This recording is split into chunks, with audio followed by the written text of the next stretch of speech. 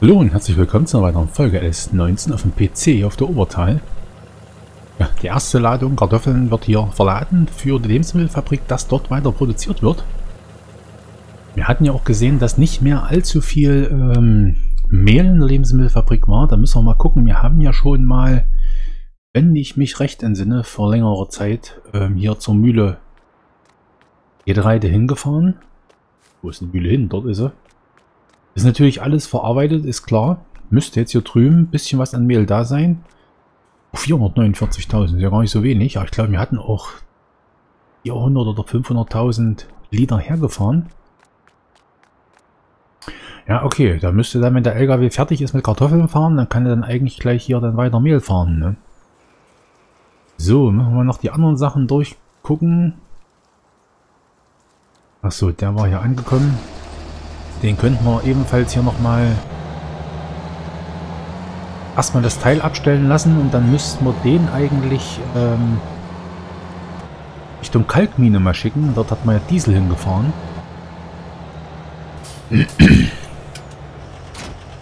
Da muss er seinen Hänger wieder kriegen und dann kriegt er wieder hier die Aufgabe, Kalk aus der Kalkmine zum Hofsilo zu schaffen. Das sollte er hinkriegen, das hat er ja schon mal hingekriegt. So, den Hänger organisieren wir uns natürlich hinten am Parkplatz 7 am besten. Oder bei... Äh, noch besser ist eigentlich, wenn er... Wir müssen dort unbedingt Garagenplätze sonst einrichten. Noch besser ist eigentlich, er steht bei den Tieren... Bei den Kühen, wo es Gülle gibt. Blockierte da jemanden? Ich hoffe mal nicht. Weil der Wasserfahrer fährt dort nicht lang. Ein Strohfahrer ist keiner unterwegs. Ne? So, was wir am besten hier gleich nochmal machen. Wo will denn er hin? Gut, er wird schon wissen, was er tut. Ja, ich hoffe mal, dass unsere Ernte läuft, dass wir uns da nicht viel drum kümmern müssen, weil wir haben eigentlich keine Zeit, uns drum zu kümmern. Wir nehmen hier den nochmal. Räumen hier nochmal die Spawnplätze frei. Spätestens Richtung Winter müssen wir uns ja auch um Holz kümmern. Vorher geht das leider nicht. Schaffen wir nicht.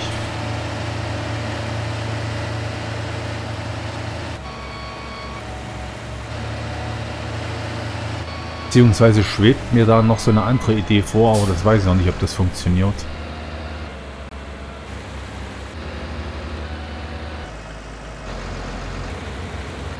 Also nicht so, dass wir kein Holz mehr machen müssen, aber eventuell eine andere Fläche vom Baumstämmen befreien oder von Bäumen befreien.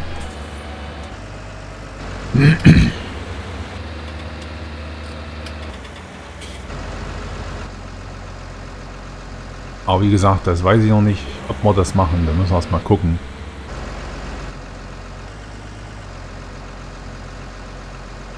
Schauen wir mal, was die Zeit da so bringt. Ne?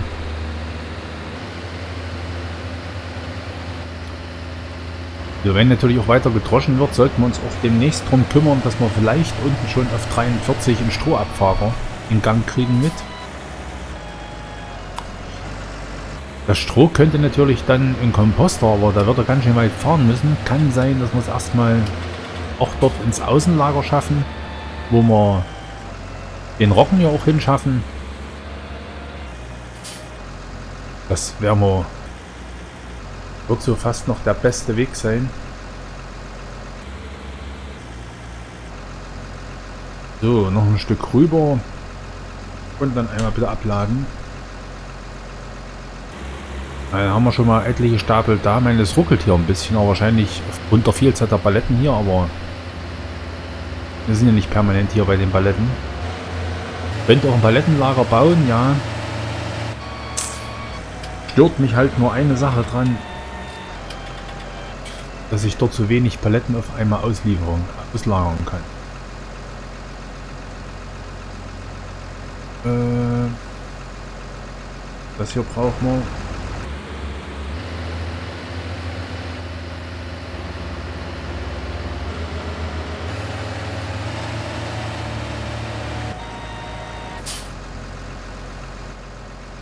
Ja, woran klemmt Hier klemmt schon am Baumstämmen.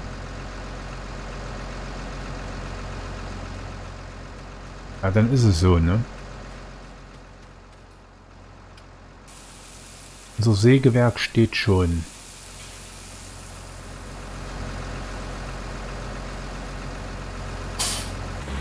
Schlecht, wenn Sägewerk keine Bäume mehr hat, ja.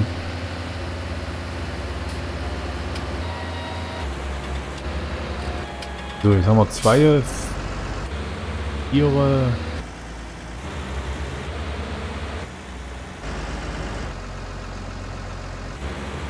Lassen wir mal bei 6. Dass wir das noch ein bisschen einigermaßen gleichmäßig aufteilen.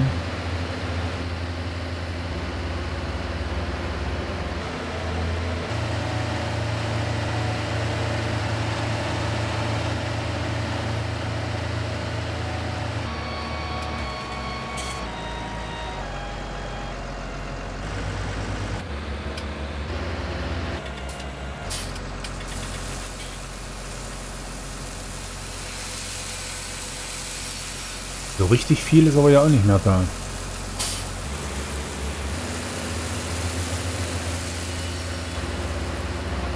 Ja gut, hier ist dreimal ausgeräumtes Palettenwerk, was dort steht.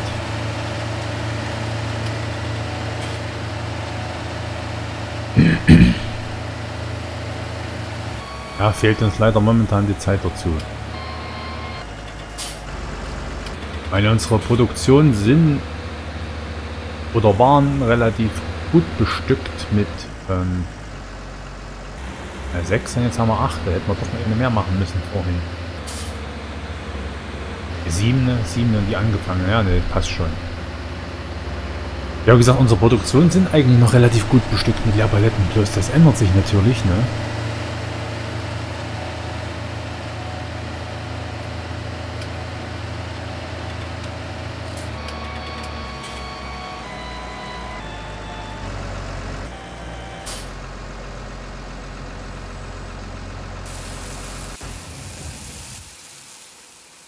So, laufen wir gleich mal hier vorne zu dem Kalkstreuer. Der braucht natürlich auch noch einen Kurs, ne? Und dann müssen wir mal gucken, warum die Drescher stehen. Aber ich vermute mal, das wird wieder unser Maisdrescher sein. Der Abfahrer braucht immer unwahrscheinlich lange.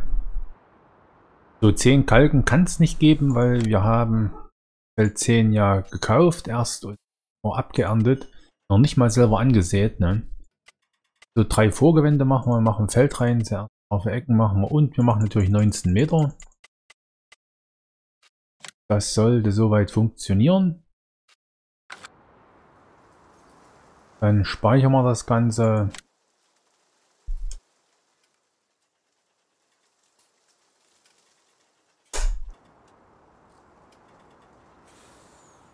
Cosplay muss was geändert haben, ne? Dass er das Ende jetzt hier immer so zumacht. War vorher nicht, ne? Hätte ich gesagt, ähm, hätte, hier sonst immer der Höhe gestanden, ne?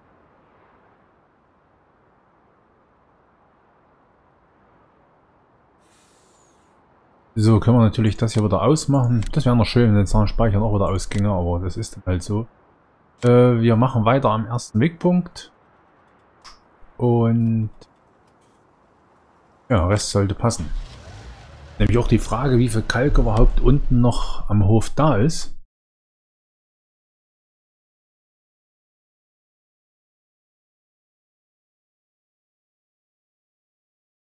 Ich glaube, dorthin müssen wir.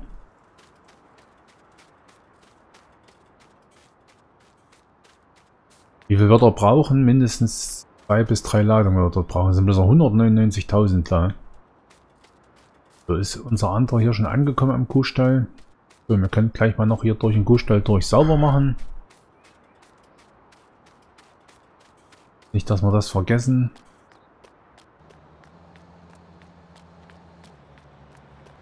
Da vorne kommt er gerade, also sind wir doch genau richtig hier. Können wir noch dreimal einen Besen wegschmeißen.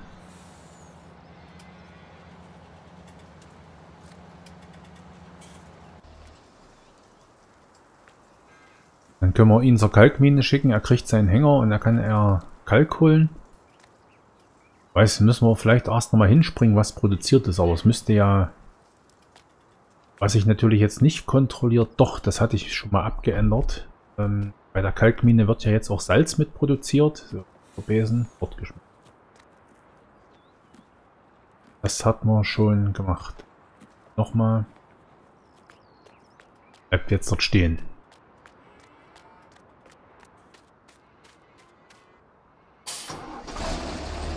Mist, ist auch gut gefüllt schon mittlerweile, ja. Ja, mit den Drescher muss ich alles erledigt haben. Ähm, die Meldungen sind weg, also es wird abgefahren. Also sollte eigentlich alles soweit passen.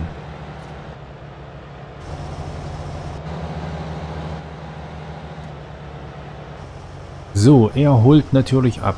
So wie wir das gesagt haben, an, an der Kalkmine. Kalkgrube.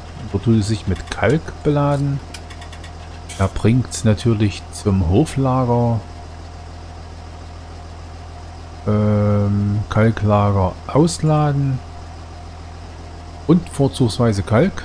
Was anderes wird er dort nicht kriegen. Und nicht nur fünfmal, er kann so lange fahren, bis er Diesel alle ist. Ich weiß nicht, wie oft er fahren muss. Das können wir uns auch gleich mal kurz angucken. Kalkmine war doch hier unten. Wir haben 625. Wird auch noch produzieren. Diesel ist auch noch ein bisschen was drin. Auch da ist was geändert worden. Vorher haben wir doch, glaube ich, nicht so viel... Oder wie viel Diesel hat man schon beim... Wir haben ja hier schon mal leer gefahren. Wie viel hat man da hingebracht, Diesel? Weiß ich gar nicht mehr. Das weiß ich gar nicht mehr. Aber gut, das passt schon. So, ähm, genau, er ist angekommen. Oder müssen wir losschicken wieder? Ach, Kühe brauchen noch Mischration. Genau, Mischration. Gutes Thema. Ja, eigentlich nur noch die Kühe Mischration.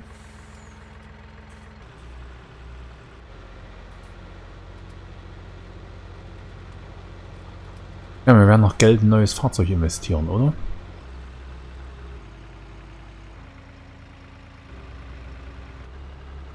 Weil unten an den Silo, was wir in der gestrigen Folge gebaut haben, dort denke ich mal, werden wir uns ähm, Schweinefutter einlagern. Wir werden uns dort äh, Mischration einlagern. Und das wird dort einer stationiert, den wir jetzt kaufen. Ein Trecker mit Hänger, der das dann immer verteilt auf Futterrouten.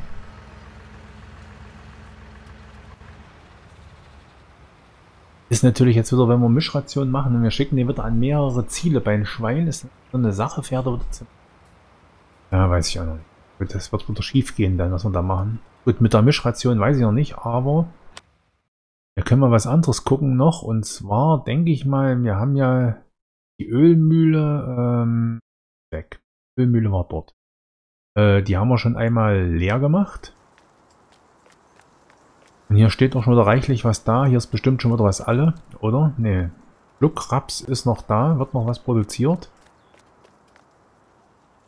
Aber äh, bei den Sonnenblumen der Trigger weg. Ach shit, lädt gerade einer auf wahrscheinlich. Ich denke, bei den Sonnenblumen werden die Sonnenblumen alle sein und wir haben hier 137.000 in der Mischration. Genau, und die kann unser neuer Trecker dann hier einen kompakten nehmen wir da, hier so einen kleinen. War ich immer hier John Deere Mod mit. Konfiguration Standard. So Frontgewicht. Da machen wir Hydraulik, Reifenhersteller. Billing nicht.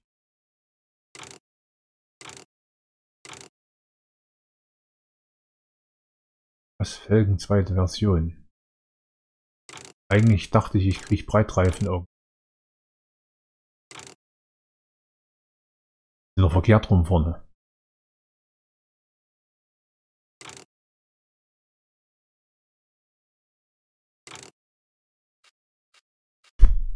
Da bin ich jetzt hier schon bei Trelleborg. Kriege ich da Breitreifen? Breitreifen. Hinten mit Ring machen hier bloß zwei, drei. Ähm, Design. Also die Terminals kosten 3700. Ne, die brauchen wir auch nicht. Er soll ja bloß fahren. Motorausführung kriegt natürlich größten Motor hier mit Chip-Tuning. Frontladeranbau brauchen wir bei dem Gerät nicht. Rundumleuchte. Ähm, da machen wir die zwei. GPS. Ne, für 8000 eine GPS-Antenne. Ne, danke. Warnschilder brauchen wir hinten auch nicht. Auspuff. Wandern lassen. Schon Dierhirsch auf der Motorhaube brauchen wir auch nicht. Dachkonfiguration. Ja, können wir Panoramadach machen. Das ist auch ein Siemer, das gehen wir aus. Türen machen wir, lassen wir normale.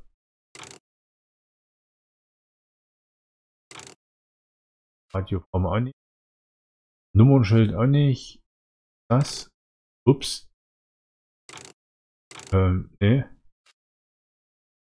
Aufkleber werden wir keine brauchen. Andere Ergänzung. So, ja genau, hier Hupe und Licht machen wir komplett noch auf. Vorne den Schutz brauchen wir auch nicht. Kostet das gute Stück 95.000, das geht noch. Er braucht natürlich noch ein Gewicht. Ja, und nicht nur ein Gewicht, er braucht sicherlich auch noch einen Hänger. 900 Kilo Gewicht vorne dran, das reicht. Hier habt ihr ein Diergewicht.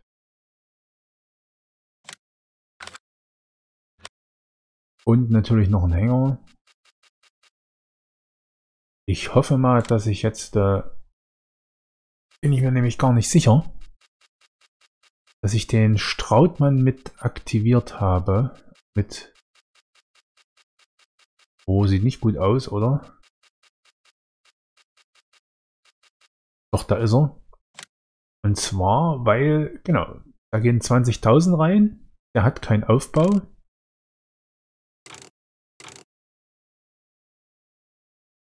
Und ähm, der kippt nicht, sondern der schiebt nach hinten ab. Denn wenn wir wirklich hier im Kuhstall äh, Mischration fahren, können ja nicht abkippen nach hinten. Weil das geht ja meistens schief. Da hatte ich noch geguckt nach einem Hänger, der nach hinten abschiebt. Und das macht der Strautmann. Und mit 20.000, denke ich mal, ist das auch eine gute Wahl hier. Kostet ja halb so viel wie der Trecker.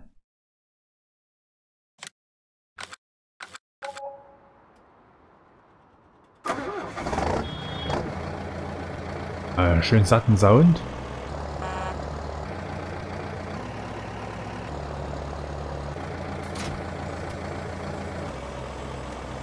Der ist trotzdem noch ganz schön hoch, der Hänger. Oder ist unser Trecker zu klein? Nee, das passt schon, das reicht aus. Wird die 20.000 sieht ganz schön groß aus.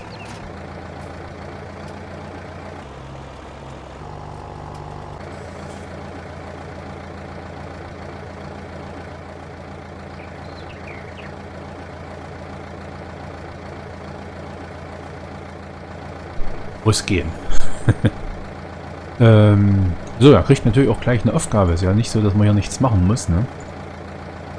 Ähm, er holt natürlich an der Ölmühle äh, Mischration beladen und fährt die Mischration natürlich ähm, bei die Kühe und zwar Futter.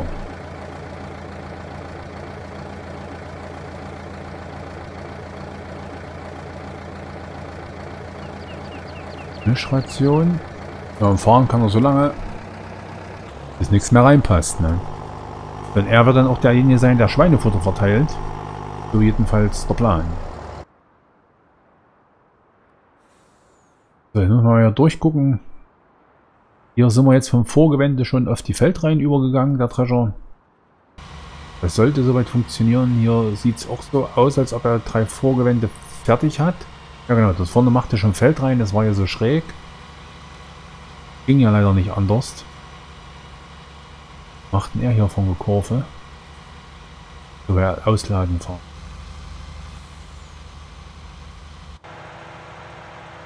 So, hier ist eine Ladung Mais unterwegs. Ja, an der Schule ist schon wieder das Tor zu.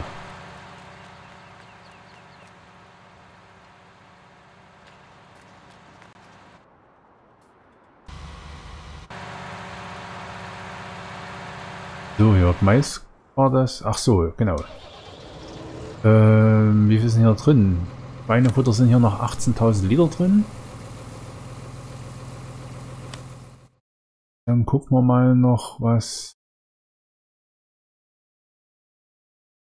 Äh, Ach, Zuckerfabrik ist natürlich auch noch ein gutes Thema. Die wollten wir uns gleich auch schon mal zulegen, oder? Da hat mal Zuckerrühren gemacht. 818 Liter Schweinefutter haben wir drin hier, okay.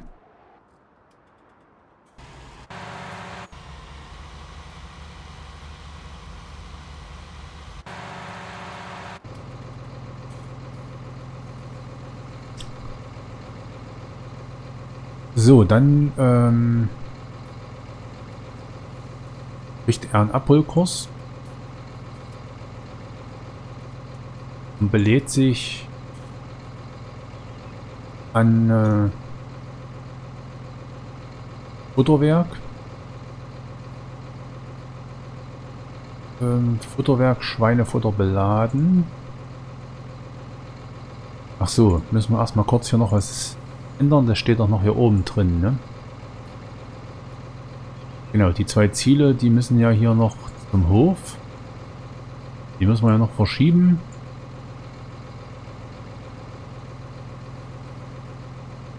So, und ausladen soll er dann am Pferdehofsilo ausladen. Dort soll ja Schweinefutter hin. Und Schweinefutter. Dann kann er hier mal losfahren. Gut, er fährt erst ausladen, klar, weil er 94% drin hat. Das passt soweit. Das sollte eigentlich funktionieren. Hier können wir Auto 3 wieder ausschalten, den Editor. Dann haben wir schon wieder reichlich Helfer unterwegs hier, ne? Er wartet auf den Ruf vom Drescher, der dort hinten kommt.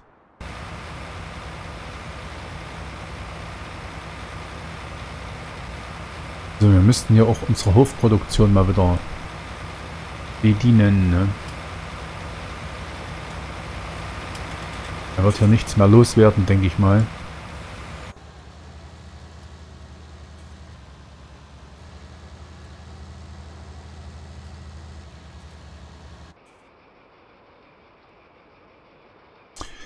Kann erstmal hochfahren zum Hof. Zum Parkplatz. Da werden wir mit denen mal die Hofrunde alles erledigen. Oh, bei der Hörse sieht schon gut aus. Da haben wir bloß noch das Stück hier hinten.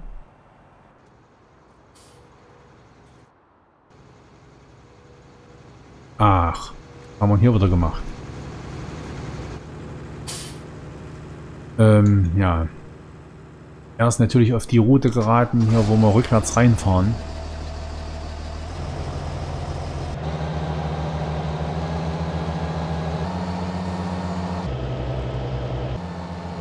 Da sind wir selber schuld.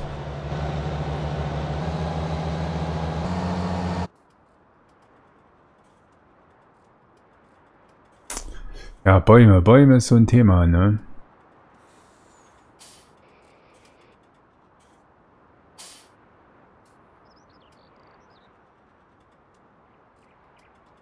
Mhm.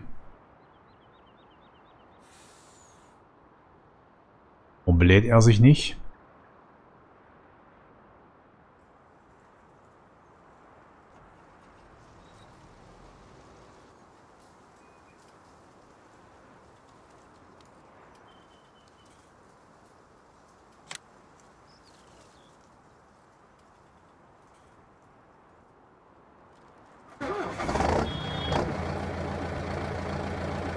Punkt zu nah dran.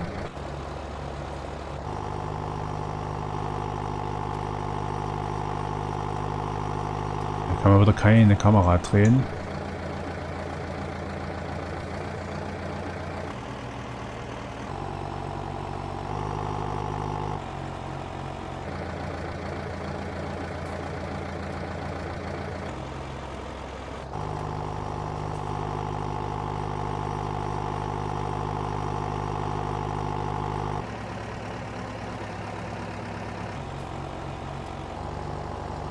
Wenn er sich nicht belädt, das wäre schlecht.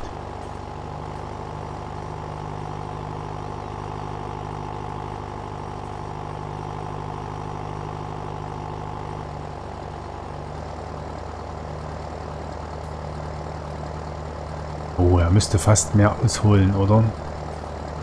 Ja, wir haben das hier mit einem kleineren Gespann schon mal gemacht, ne? Also da steht der Hänger jetzt nicht unter dem Trigger drunter. Wir waren einfach, der Punkt war nicht weit genug vorn.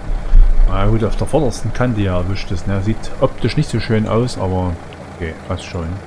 Hänger wird voll, also wird Mischration zum Kühn gefahren.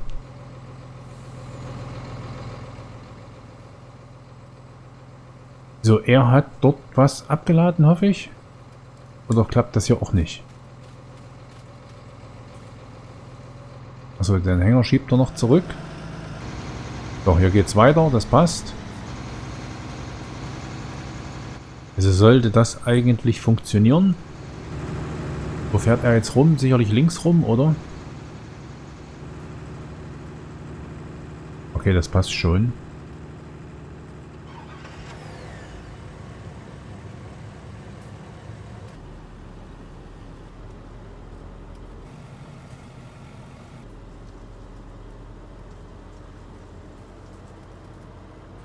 So, wir müssten natürlich hier unten... Ach ne, wir müssen eigentlich gar nichts. Wir müssen erstmal... Ähm, wir müssen erstmal gucken. Wir haben doch in der letzten Folge noch unsere LKW losgeschickt zum Hotel. Fällt mir jetzt gerade so ein, weil wir hier unten am Hotel Reiterhof vorbeifahren. Er hat mir doch hier hinten hingeschickt zum Hotel. Da ist er doch. Oh, noch keiner ausgeladen. Oh, nee, nee, nee. So, einmal so ein Stück rüber noch. Fett und dann gibt es Geld aufs Konto. Ähm ja, er fährt nochmal in die Lebensmittelfabrik. Oder? Nee, müssen wir nicht nochmal hin. Da sind ja bloß die paar Paletten stehen geblieben. Kartoffeln waren ja alle gut, sind welche hingekommen, aber gut, da müssen wir nicht nochmal hin. Wir fahren aber in die Ölmühle. Da hat man ja gesehen, sind ja auch reichlich Paletten produziert worden. Beziehungsweise, wo wir auch nicht waren, waren wir später in der Ölmühle. Oben in der Molkerei. Dort schicken wir mal hin. Gucken, wenn wir das nächste Mal erwischen.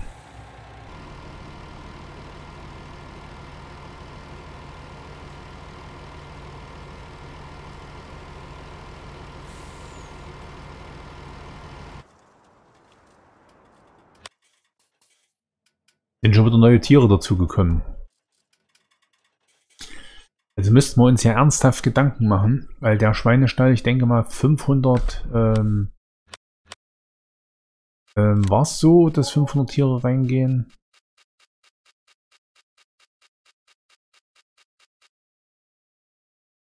Genau, 500 passen rein, hier fehlt das Vorschaubild, okay. 500 Tiere passen rein.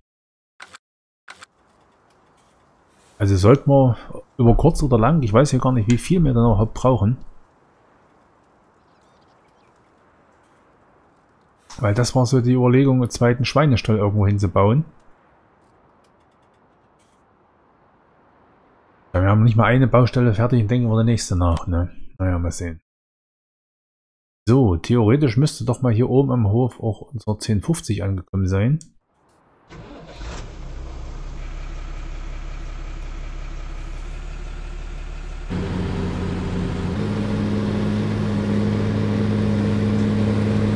Dass wir einmal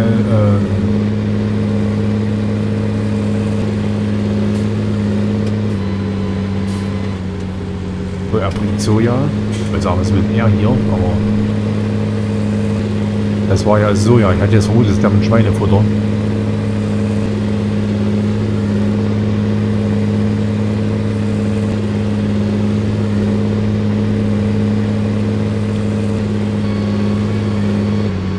Meine, wir müssen ja auch bald wieder spritzen.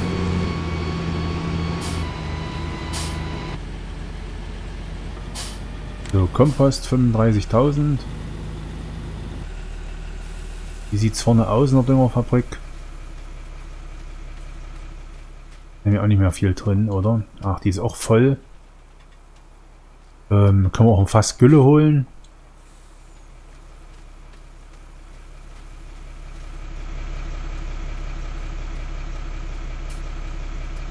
Aber das würde ich sagen, das können wir dann morgen weitermachen.